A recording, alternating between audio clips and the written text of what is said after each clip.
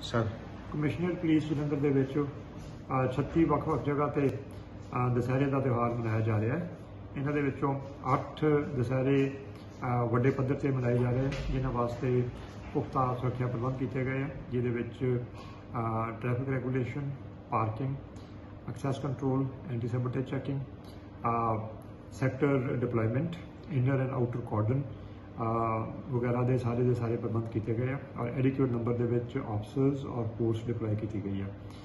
ਇਸ ਸਾਰੇ ਪ੍ਰਬੰਧਾਂ ਨੂੰ ਸਾਰਥਕ ਬਣਾਉਣ ਦੇ ਵਾਸਤੇ ਲਗਾਤਾਰ ਐਡਵਾਂਸ ਸਿਕਿਉਰਿਟੀ ਲੈਜਨ ਦੀ ਐਕਸਰਸਾਈਜ਼ ਕੀਤੀ ਜਾ ਰਹੀ ਆ ਔਰ ਆਉਣ ਵਾਲੇ ਇੱਕ ਦਿਨ ਦੇ ਵਿੱਚ ਪੂਰਾ ਸ਼ਹਿਰ ਦੀ ਡੋਮੀਨੇਸ਼ਨ ਨਾਕਿਆਂ ਨਾਲ ਕੀਤੀ ਜਾਏਗੀ, ਜਿਸ ਦੇ ਵਿੱਚ ਸਾਰੇ ਸਿਟੀ ਸੀਲਿੰਗ ਪੁਆਇੰਟ ਔਰ ਡਿਸਟ੍ਰਿਕਟ ਸੀਲਿੰਗ ਪੁਆਇੰਟਸ ਨੂੰ ਕਵਰ ਕੀਤਾ ਜਾਊਗਾ।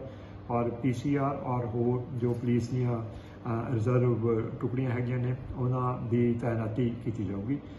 ਇਵੈਕੂਏਸ਼ਨ ਵਾਸਤੇ ਔਰ ਕੰਟੀਨਜੈਂਸੀ ਮੈਨੇਜਮੈਂਟ ਦੇ ਵਾਸਤੇ ਵੱਖਰੇ ਤੌਰ ਤੇ ਪ੍ਰਬੰਧ ਕੀਤੇ ਗਏ ਆ ਔਰ ਹਰ ਜਗ੍ਹਾ ਤੇ ਐਂਬੂਲੈਂਸ ਫਾਇਰ ਟੈਂਡਰ ਵਗੈਰਾ ਦਾ ਇੰਤਜ਼ਾਮ ਵੀ ਕੀਤਾ ਗਿਆ ਹੈ ਔਰ ਸੀਸੀਟੀਵੀ ਕਵਰੇਜ ਨਾਲ ਵੱਧ ਤੋਂ ਵੱਧ ਦੁਸਹਿਰੇ ਦੇ ਜਿਹੜੇ ਫੰਕਸ਼ਨਸ ਹੈਗੇ ਨੇ, ਉਹਨਾਂ ਦੀ ਕਵਰੇਜ ਕਰਵਾਈ ਜਾਏਗੀ।